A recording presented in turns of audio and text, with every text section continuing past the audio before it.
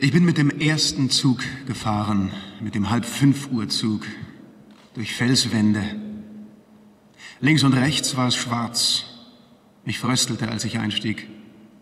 Dann wurde mir langsam warm, dazu die Stimmen von Arbeitern und Arbeiterinnen, die aus der Nachtschicht heimkehrten.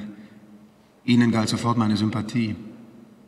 Frauen und Männer, jung und alt, aber gleichgestimmt, vom Kopf bis über die Brüste und über die Hoden bis zu den Füßen übernächtig. Die Männer mit grauen Kappen, die Frauen mit roten Kopftüchern. Ihre Beine haben sie in Lodenfetzen eingewickelt. Das ist die einzige Möglichkeit, der Kälte einen Strich durch die Rechnung zu machen. Ich wusste gleich, dass es sich um eine Schneeschauflergruppe handelt, die in Sulzau zugestiegen war. Es war wie in einem Kuhbauch so warm, die Luft so, als pumpte sie sich selber fortwährend unter ungeheuren Herzmuskelstößen aus den Menschenkörpern wieder in dieselben Menschenkörper hinein. Man darf nicht nachdenken. Ich drückte mich mit dem Rücken an die Waggonwand. Weil ich die ganze Nacht nicht geschlafen hatte, nickte ich ein. Als ich aufwachte, sah ich wieder die Blutspur, die auf dem nassen Waggonboden ziemlich unregelmäßig verlief, wie eine von Gebirgsmassiven immer wieder abgedrängter Strom auf einer Landkarte und zwischen Fenster und Fensterrahmen unter der Notbremse endete.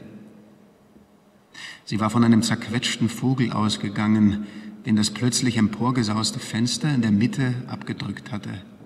Vielleicht schon vor Tagen.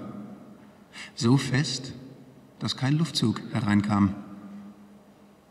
Der Schaffner, der in Ausübung seines trostlosen Amtes vorübergekommen war, hatte von dem toten Vogel gar nicht Notiz genommen, aber er musste ihn schon gesehen haben. Das merkte ich. Plötzlich hörte ich die Geschichte von einem im Schneetreiben erstickten Streckenwärter, die so schloss, der hat sich um nichts gekümmert.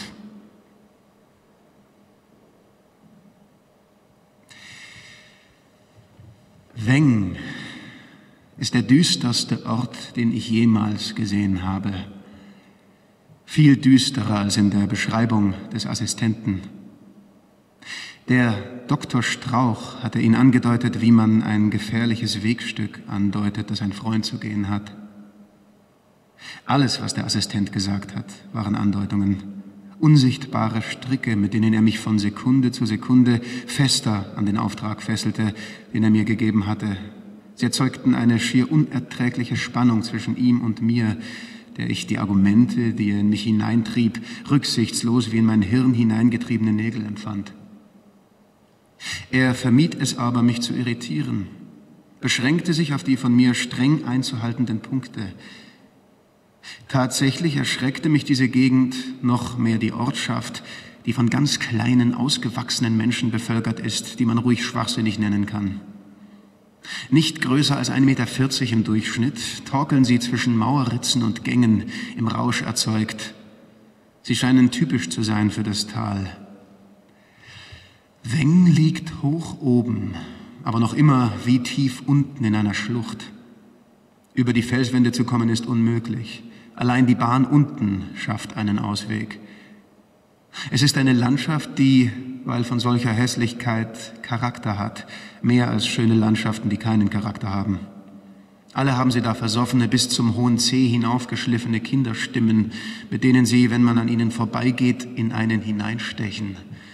Zustechen, aus Schatten zustechen, muss ich sagen, denn in Wahrheit habe ich bis jetzt nur Schatten von Menschen gesehen, Menschenschatten, in Ärmlichkeit und in wie tobsüchtig zitternder Schwüle. Und diese Stimmen, die aus diesen Schatten zustechen, haben mich zuerst verwirrt, zum Weiterhetzen gezwungen.